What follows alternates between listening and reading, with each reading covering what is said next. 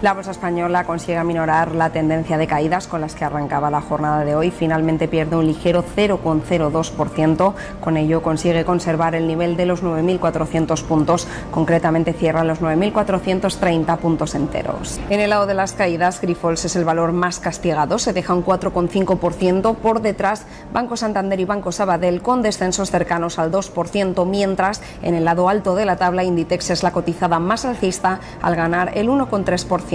Los principales selectivos europeos cierran la sesión del jueves en tendencia mixta con el FTSE 100 de Londres como el único indicativo que consigue subidas, gana un 0,30%, mientras dentro de las caídas las más pronunciadas son las del CAC parisino del 0,5% en una jornada bursátil que se ha visto condicionada por el incremento en los tipos de interés por parte del Banco Central Europeo, subiéndolos en 25 puntos básicos hasta situarlos en el 4%.